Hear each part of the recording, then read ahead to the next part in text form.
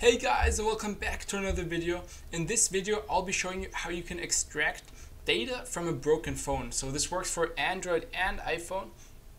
So if you're broken your screen then you are actually still able to get that data out of your phone. So if it's really important it might be worth it to try to get it out. It's not that easy but there are some things you can do to extract that data and still use it and save it on your PC for example. Of course, this only works if, for example, you smashed your screen and you can't see anything anymore, but the phone itself is still working. So if the phone's not working at all, if it's not able to turn on, then this won't be possible. This is only possible if the exterior of the phone is broken, so you can't access it, but it still starts up. So you will need to buy a cable that has the plugin for the phone, the correct plugin, depending on Android or iOS and then on the other side, you need a HDMI connector.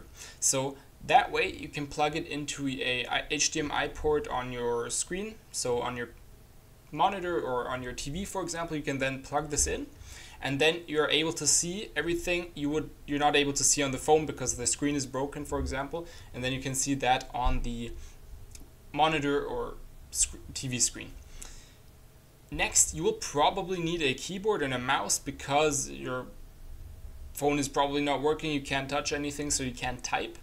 So you'll need to be able to get that. So to connect all these things to the same phone, you'll need to get a phone connector with the right port for your phone that has a lot of plugins. You need one for HDMI so you can plug it into your monitor or DisplayPort. If your monitor is a newer monitor, you might need a DisplayPort cable. Check that first on your monitor.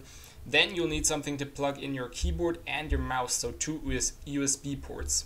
So make sure you have to get a pretty long cable. So it's not that easy, like I said, but if you have really important data on your phone and you really need to get it back, then this might be worth it. So make sure you get a cable that you can plug into a screen and then connect your mouse and keyboard. And that's how you can then extract all the data from your phone. If you have any more questions, just comment down below and make sure to drop a like and subscribe if this helped you.